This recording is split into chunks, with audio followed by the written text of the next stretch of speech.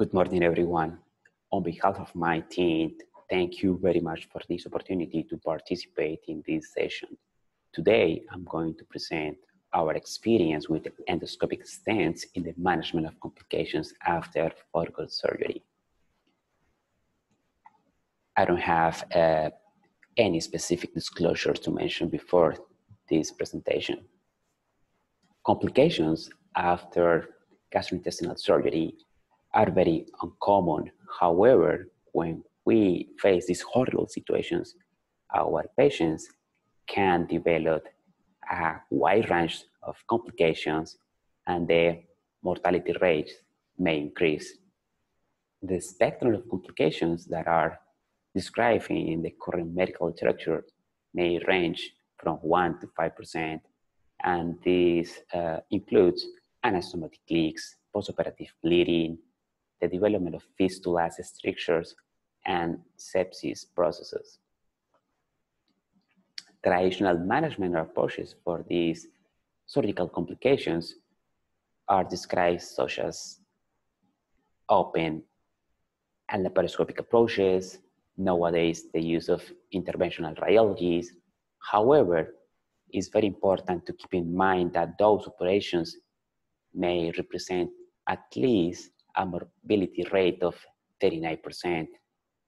That's why endoscopic stenting is now an alternative that can potentially reduce the morbidity that is associated with a second intervention.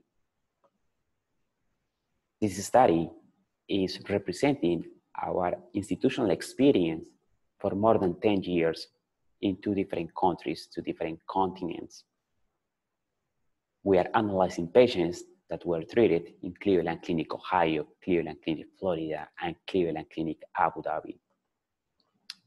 This retrospective study was initially approved by our institutional review board, and we are analyzing patients who underwent endoscopic stent placement for complications after benign gastrointestinal surgery.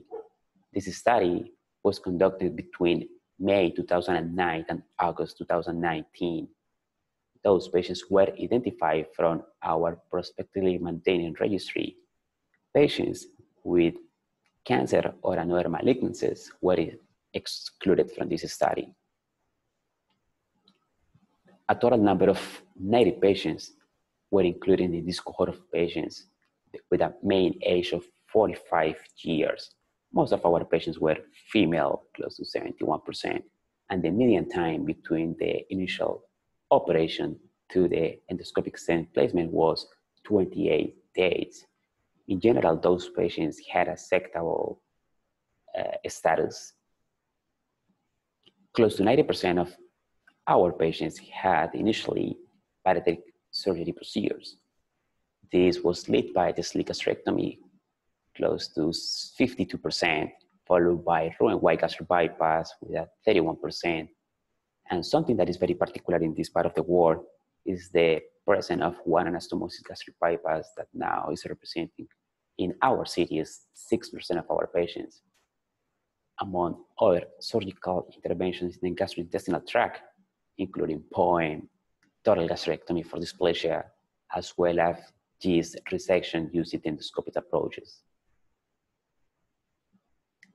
regarding the symptomatology of those patients, most of our patients came to the emergency room with abdominal pain, fever, nausea, vomiting, and in less percentage, people referred chest pain and hematemesis. Indications for stent placement included leaks after sleeve gastrectomy in a 37%, strictures after sleeve gastrectomy 16%, gastrojejunal anastomosis leaks after Roux-en-Y gastric bypass 14%, and gastrojejunal strictures after Roux-en-Y gastric bypass 9%. In this series, I would like to highlight that two patients had uh, gastrojejunal anastomosis perforations after endoscopic dilatations, and one patient had a upper GI bleeding after an endoscopic uh, procedure. A total number of 148 stents were deployed in this population of patients. The most common one was the partially covered metal stent, 105 stents, followed by fully covered metal stent. Another group of patients had the opportunity to receive a plastic biliary stent, four patients, and in this subgroup of patients, we decided to separate and perform a different analysis.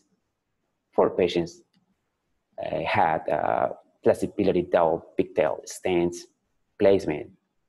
Out of four patients, three had initially a sleeve gastrectomy and one patient had a one anastomosis gastric bypass.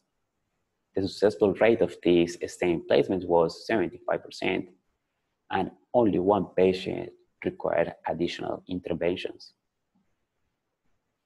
Postoperative outcomes are very encouraged. Symptom resolution was seen in at least 74% of those cases. Resolution of complications was identified in 71% of those patients. Following our institutional protocols and guidelines, we could achieve that at least 61 of our patients were able to reinitiate oral intake in less than 48 hours. And 28 patients, representing 31% of our entire cohort, had the need to have a second stent or additional reinterventions. Complications related with the stent placement uh, are described such as migration in a 6%, intolerance after stent placement, 5%, two patient had a upper GI bleeding, and one patient had a pneumonia after this procedure. The main uh, follow-up was 10 months, and the mortality rate was 0%. In conclusion, we believe that endoscopic stent placements result in a high rate of resolution of these kind of complications in our series is up to 71% time interval from the presentation of symptoms to stenting as well as indication may predict the overall success rate. Finally, new indications and stent technologies are evolving very fast and we have to be prepared for the new opportunities that we are going to have in the future. And new technologies, including internal drainage and an appropriate selection of techniques should be dictated by patient selection. Once again, we want to thank you, SAGES, for this amazing opportunity to present our data despite of the current situations. Hopefully next year, we will have the opportunity to meet in person and to spend time with our colleagues. Thank you so much for your attention. Have a wonderful day.